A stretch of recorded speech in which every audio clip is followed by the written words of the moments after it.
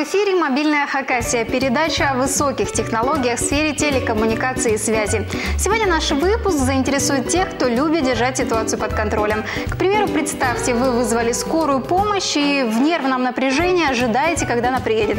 Это было в прошлом. Сегодня Мегафон позволит определить точное время прибытия медиков к пациенту. Станции скорой помощи в городах и районах Хакасии перешли на новую систему мониторинга с помощью спутников ГЛОНАСС. Она появилась в нашей республике в рамках программы «Модернизация здравоохранения».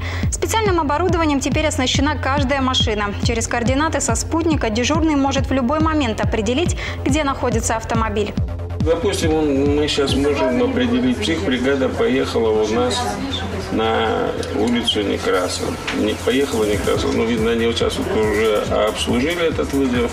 И вот двигаются они по проспекту Ленина 103.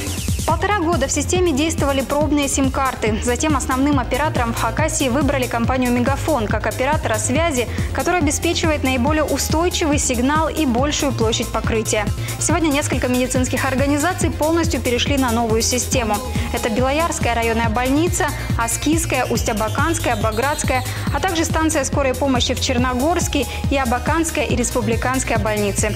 С помощью оператора связи «Мегафон» можно определить как точное время прибытия неотложки ложки, так и маршрут, выбранный водителем. Знать, когда точно подъедет скорая, это, конечно, хорошо, но, к счастью, такая информация нам нужна не каждый день.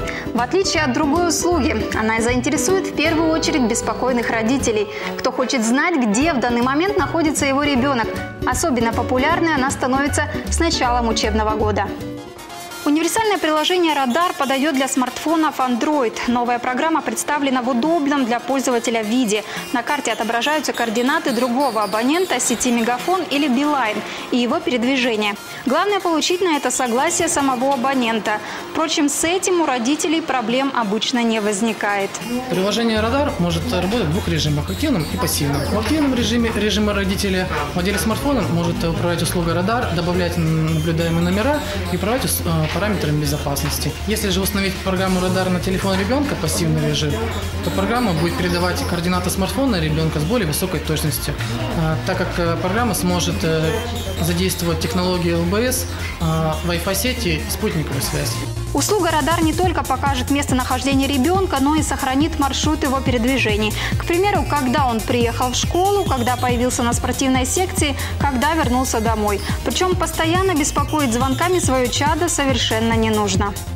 Мегафон представил новинку – третье поколение сверхпопулярного планшета Login 3. В отличие от предшественника, он работает на самой последней версии операционной системы Android. Новинку уже нарекли планшет, который учит. В нем есть все, что нужно для учебы. Отличный экран, интернет, поддержка образовательных приложений. В преддверии начала нового учебного года компания Мегафон выпустила новый гаджет для повседневных задач. Планшет Login 3. Он стал быстрее и функциональнее своего предшественника. При этом удалось сохранить более чем доступную цену, что сделает планшет Мегафон Login 3 лучшим подарком для школьников и их родителей. Новинка поможет как в учебе, так и на отдыхе. А самый быстрый мобильный интернет от Мегафона сделает планшет по-настоящему полезным. Сегодня Мегафон отдает планшет всего за 1990 рублей, при условии, если абонент подключит одну из опций мобильного интернета на два месяца. Кроме того, при покупке в салонах связи консультанты помогут скачать разные программы для изучения школьных предметов. Это лето выдалось жаркими для оператора связи. Специалисты компании «Мегафон» привели данные об активности своих абонентов во время отдыха на озерах Ширинского района. Общий объем телефонных разговоров составил практически 4 миллиона минут, то есть 700 часов разговоров в день. Общий же объем трафика за три летних месяца около 9,5 терабайт. В среднем в день больше 100 гигабайт.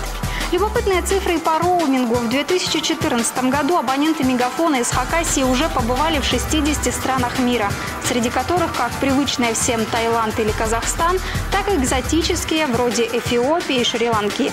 Лидер по посещаемости стала Турция. Это было все, что мы хотели сообщить вам в мобильной Хакасии. Увидимся в следующем выпуске программы. Оставайтесь с нами и будьте в курсе самых последних новостей в сфере современных технологий.